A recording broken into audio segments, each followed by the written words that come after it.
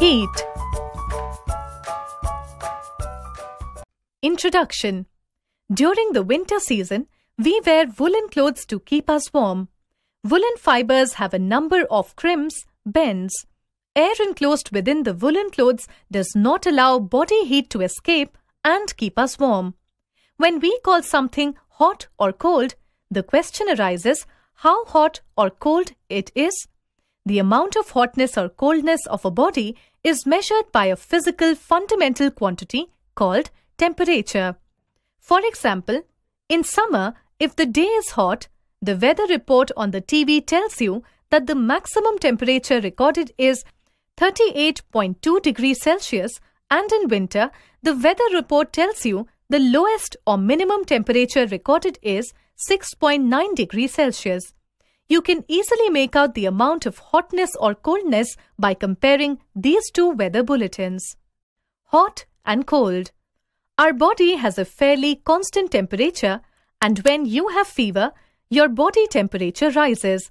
Hot and cold are sensations that your body detects or you feel with respect to your surroundings. During summer, your surroundings become hotter than your body and you feel hot. During winter, the surroundings become colder than your body and you feel cold. Hot and cold are therefore relative terms in relation to your body temperature. However, your body is not perfect in differentiating hot and cold. You can make the difference between hot and cold by sensation. Based on your body sensation, you use words like cool, cold, warm, lukewarm, and hot. If an object or our surrounding is at a slightly lower temperature than our body, we say it is cool. If it is at a much lower temperature, it is called cold. On the contrary, an object having higher temperature than our body is called lukewarm or warm. And if the temperature is much higher, it is called hot. Take three containers and arrange them in a row on a table. In the first container, Fill some ice cold water. Put some tap water in the second container and put some hot water in the third container. Dip your left palm in the cold water and dip your right palm in the hot water and keep them dipped for some time. Now, take out both your palms and put them together in the container containing tap water. The tap water will feel warm to the left hand and cold to the right hand. The same water appears cold and warm both. This is because hot and cold are relative to the sensation your body feels or detects. Heat and its flows. Heat is a form of energy which, when acquired by a body, makes its temperature rise. When we light a gas burner at home to cook food, the chemical energy stored in the cooking gas gets converted into heat energy on burning. This heat energy is then used to cook food. Similarly, we can convert electrical energy into heat energy when we use an electric heater. If we rub our palms together during winter, the mechanical energy gets converted to heat energy and our palms feel warm. Thus, heat is neither produced nor destroyed but is a form of energy. It gets converted from one form to another. You are aware that any kind of material, whether a solid, liquid or gas, is made up of tiny particles called molecules. When heat is applied, the molecules of the material gain energy and begin to move from their position. In this way, the material begins to get heated. The movement of the molecules also transfers the heat in the material. This system of molecules is different in solids, liquids and gases. Heat flow in solids. Solids have tightly packed molecules which do not have free space to move. When solids are heated, the surface of the solid, which is in touch with the heat source, receives the heat energy and its molecules begin to vibrate due to the heat energy. As the molecules are tightly packed, the energized molecules vibrate against each other and pass on the heat to the neighboring molecules. In this way, heat is transferred in the entire body of the solid. This form of heat flow or heat transfer is called conduction. Solids that conduct heat are called good conductors or simply conductors. while those that do not conduct heat are called bad conductors or insulators. The transfer of heat in solids is like the passing of the bus ticket from the bus conductor to the passenger sitting on the last seat. The ticket is passed on from one passenger to another till it reaches the last passenger. Take an iron rod bar and cover one side with wax. Fix some nails on the wax coating. Heat the free end of the rod by using a burner or spirit lamp. We can observe that as the rod is heated from one end, the nail closest to the end falls down first due to the melting of wax by heat. This is followed by the next nail and go on till all the nails fall down as the wax melts. This shows that the heat travels from one end to the other in the iron rod. This method of heat flow in solids is called conduction. Repeat this activity by using different materials such as wood, glass, copper or brass rod. You will notice that while metals conduct heat, other solids such as wood and glass do not conduct heat. Heat flows in liquids. The molecules in a liquid are loosely packed as compared to solids. That is why liquids do not have a definite shape like solids the molecules are free to move from their position.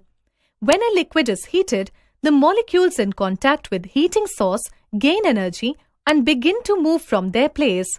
As these energized molecules move from their place, the other non-energized molecules begin to occupy their place and they too absorb the heat energy.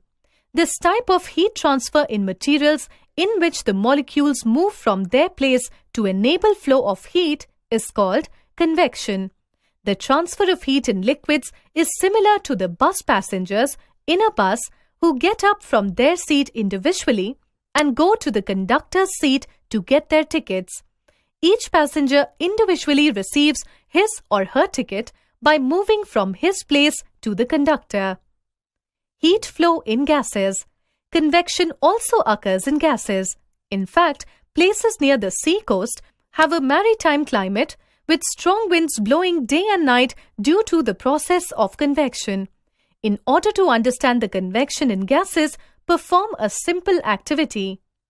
This happens because the air above the candle absorbs heat and gas particles. After gaining energy, move upward. This creates a low air pressure around the flame and fresh air is sucked in through the other hole to keep the candle burning. This cyclic movement of air starts as convection current and the smoke from the dhoop batti or agarbatti is sucked in through the other hole along with fresh air. Similar to the activity performed is the phenomenon of land and sea breezes. Take a beaker and fill it half with water. Set up an assembly of a burner, a stand, a wire gauze and put the beaker containing water on the burner add a few crystals of potassium permanganate. As the water begins to heat, what do you observe? The crystals of potassium permanganate move up and down in the water and begin to dissolve, making the water purple in color. This activity shows that heat is transferred within the liquid by the movement of particles, molecules, in a cyclic up and down manner. This type of heat flow in liquids is called convection. Take a large cardboard box. Cut two holes on the top of the box. In these holes, attach two cylindrical cardboard pieces and paste them firmly. Take a burning candle with a proper base and put it below one hole and close the box tightly. Make sure that candle flame does not put the cardboard box on fire. Take a dhoop batti or agarbatti, light it and put the burning part near the other hole smoke from your dhoop batti or agarbatti will be drawn into the box through the hole and come out of the other hole below which you have lighted the candle. These breezes occur on the sea coasts and are based on the principle of convection. During the daytime, land near the sea heats up faster than the sea water. The air above the land absorbs this heat and moves up due to convection just as the air above the candle in the box moves up. When the air above the land rises up, it creates a pressure change and cool dense air from the sea comes to fill up its place. This mechanism of a cool breeze blowing from the sea to the land during the daytime is called sea breeze. At night, a reverse or opposite phenomenon occurs when the wind blows from the land to the sea. At night, the land cools down faster than the adjoining sea water. The sea water is warm and the air above the sea absorbs this heat. A convection current starts due to which the warm air above the sea rises up creating a pressure difference between the sea and the land. Air masses from the land blow towards the sea to take the place of the rising air. This mechanism of a cool breeze blowing from the land to the sea during night is called land breeze. Heat flow without medium.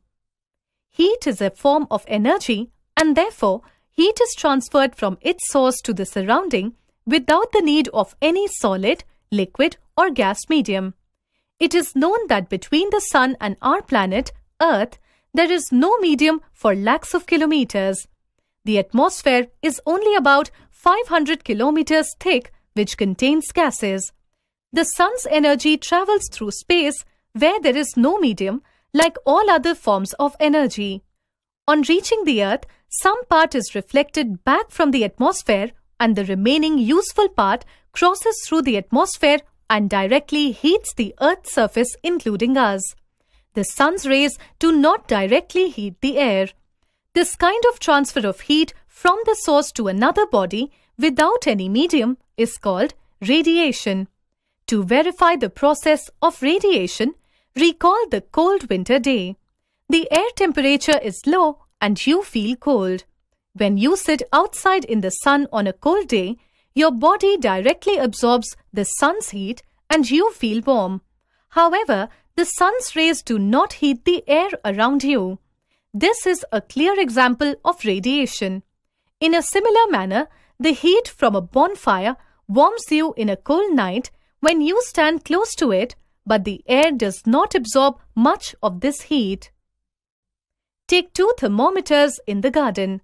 Hang one thermometer on the branch of a tree in shade such that its bulb is freely suspended. Dig out some soil in an open area near the tree on which you have hung the thermometer. Now, place the bulb of the second thermometer about 2.5 centimeters in the ground where you have dug and cover the bulb with soil. Support the stem of the thermometer by a stick or some other support. Leave the two thermometers in their positions till late afternoon. If it is a warm sunny day, the thermometer buried in the ground will have a slightly higher reading than the one hung from the tree. This is because the earth or ground is heated directly by radiation without affecting the air or the medium in between. Thus, there are three ways by which heat is transferred from one body to another. They are conduction, convection, and radiation. Effects of heat.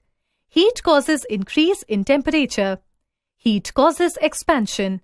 Heat causes change of state. Heat causes chemical changes. Heat affects living organisms as it may cause death to microorganisms. Measurement of heat. Heat is a form of energy and is also called thermal energy. Heat is measured by its capacity to do work. Thus, heat is measured in a unit called joule, named after the famous scientist Joule. We measure the degrees of hotness or coldness of a body as temperature. Thermometer is an instrument used for measuring temperature. In the 17th century, temperature measuring device was called thermoscope. It consisted of a wine container which was attached to an inverted flask with a long stem-like neck. The round bottom of the container was slightly heated. This led to expansion of air inside which bubbled out of the wine resulting in a rise of wine in the stem-like neck of the container. The thermoscope could detect appreciable change in temperature by the change of the wine level in the stem of the flask. In the early 18th century, Daniel G. Fahrenheit, a German physicist, designed the thermometer with mercury in a sealed glass tube. this thermometer resembled the modern thermometer and had 212 divisions. Later, mercury and alcohol, both kind of thermometers, started being invented and the system exists even today. There are two types of commonly used thermometer. One is an ordinary thermometer that may contain alcohol or mercury and the other is clinical thermometer containing mercury. Other than these, there are specialized types of thermometer used for different scientific and industrial applications. Temperature is measured in degrees by three different scales. The scale commonly used by people in cold countries like America and some European countries is the Fahrenheit scale after the name of the inventor of modern thermometer. This scale is divided into 180 divisions or degrees. Another popular used scale is the Celsius scale. This has 100 divisions or degrees. The third scale to measure temperature is called the Kelvin scale. This is used in scientific research. All common thermometers are marked based on the temperature of boiling and freezing water. Thus, in the Fahrenheit scale, water freezes at 32 degree Fahrenheit and boils at 212 degree Fahrenheit. In the Celsius scale, water freezes at 0 degree Celsius and boils at 100 degree Celsius. In the Kelvin scale, the 100 divisions begin from 273 Kelvin. In this, water freezes at 273 Kelvin and boils at 373 Kelvin. Degree is not mentioned as a convention. To verify the freezing and boiling points of temperature of water, two different activities can be done. Clinical thermometer. The thermometer that measures our body temperature is called a clinical thermometer. A clinical thermometer consists of a long, narrow uniform glass tube. It has a bulb at one end which contains mercury. Outside the bulb, a small shining thread of mercury can be seen. The thermometer uses a scale to give the reading of the temperature of an object or material. The scale we use in a clinical thermometer is Celsius scale, in which reading is noted in degree Celsius, which is also written as degree Celsius, short along with its number value. A clinical thermometer reads temperature from 35 degrees Celsius to 42 degrees Celsius. Reading a thermometer. For reading a thermometer, note the temperature difference indicated between the two bigger marks and the number of divisions between these marks. If the bigger mark reads 1 degree and there are 5 divisions between them, then one small division can read 1 degree Celsius by 5 is equal to 0.2 degree Celsius. The thermometer must be washed with an antiseptic lotion like Dettol or spirit. Then hold it firmly and give it a few jerks so as to bring the level of mercury down below 35 degrees Celsius. Now, place the bulb of the thermometer under your tongue. After one minute, take the thermometer out and note the reading. It gives the reading of your body temperature. The temperature should always be stated with its unit degree Celsius. The clinical thermometer is designed to measure the temperature of human body only. The temperature of human body normally does not go below 35 degrees Celsius or above 42 degrees Celsius. This is the reason why the range of clinical thermometer is between 35 degrees Celsius and 42 degrees Celsius. This is a permanent mark on the stem at 37 degrees Celsius, the normal body temperature. Actually, what we call normal body temperature is the average body temperature of a large number of healthy persons. Precautions to use a clinical thermometer. Thermometers should be washed before and after use, preferably with an antiseptic lotion. Before use, 2 to 3 jerks should be given to the thermometer to keep the mercury level before 37 degrees Celsius. While giving the jerks, care should be taken that the thermometer does not hit any other object. While the thermometer is inside your mouth, do not laugh or talk so as to prevent the breakage of thermometer which may release mercury. Mercury is poisonous and fatal to life. Read the thermometer keeping the level of mercury along the line of sight. The thermometer can be given small rotation to make the capillary and the level of mercury clearly visible. Do not hold the thermometer by the bulb while reading is taken. Laboratory thermometer. It consists of a very thin capillary tube of glass which is surrounded by very thick supportive glass walls. The upper end of the capillary is closed after evacuation and the lower end is drawn into a delicate bulb-like shape with a thin glass wall. The range of a laboratory thermometer is generally from minus 10 degrees Celsius to 110 degrees Celsius. Converting one temperature scale to the other. Here we can see the relation between the three temperature scales. If in a thermometer, mercury rises and the corresponding readings on Celsius and Fahrenheit scales are C and F respectively, then temperature minus ice point divided by steam point minus ice point, that is C minus 0 divided by 100 minus 0 is equal to F minus 32 divided by 212 minus 32. So, C upon 100 is equal to F minus 32 upon 180 and C upon 5 is equal to F minus 32 upon 9. Therefore, temperature in Kelvin K is equal to C plus 273. In the given relation, if temperature in degree Fahrenheit is taken on the left-hand side of the equation, then the right-hand side of the equation will be for degree Celsius and vice versa. Materials and their heating property. Materials that allow passage of heat easily through them are called good conductors. Materials that do not allow passage of heat are bad conductors or insulators. Metals are generally good conductors while liquids and gases are poor conductors. It is important to know that the ability of a material to conduct heat depends on the nature and property of the conductor. Some materials that are conductors transfer heat very fast, while others take a longer time. Let us take the example of some common metals such as silver, copper, aluminium and iron. All are metals and are good conductors of heat, but they have different rates of conducting heat. The amount of heat energy required to raise the temperature of 1 kilogram of a substance through 1 degree Celsius is called its specific heat. You can say that the specific heat of copper is less than that of iron and the specific heat of water and air is very high. That is why they do not conduct heat.